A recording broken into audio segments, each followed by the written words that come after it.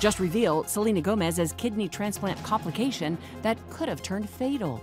A few hours after our surgery, I woke up and had a text from her that said, I'm really scared. With that message from Selena, the singer's best friend and kidney donor, Francia Raisa, realized their three hour transplant surgery didn't go as planned. Francia tells W Magazine, My kidney was very active and I broke an artery. They had to take Selena into emergency surgery to build a new artery to keep the kidney in place. She could have died. The doctor said that 50% of my recovery will be mentality. I wanted to get through it in a way where I felt empowered. Two weeks after their summer surgery, Francia was already auditioning for Blackish spinoff Grownish. Despite being in so much pain, she couldn't even open a door. And by November, she was gushing about her inspirational BFF.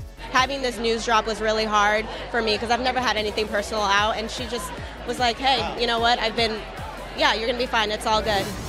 Meanwhile, fans of Selena's old friend Demi Lovato are asking, did Nicki Minaj nearly drive Demi to drink? In the new issue of Billboard magazine, recovering alcoholic Demi describes her terrible experience at the 2016 Met Gala.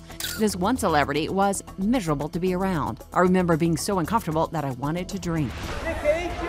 She doesn't mention any names, but when Demi and Nicki walked the red carpet together with designer Jeremy Scott, Nicki seemed to be flashing Demi some side eye and photos and freezing her out of their ET interview. Some and I see sparkle. Demi looking in the back, and she looks glamorous yeah, too. Some say those painfully awkward moments could have been what made Demi leave the gala early for a 10 p.m. Alcoholics Anonymous meeting.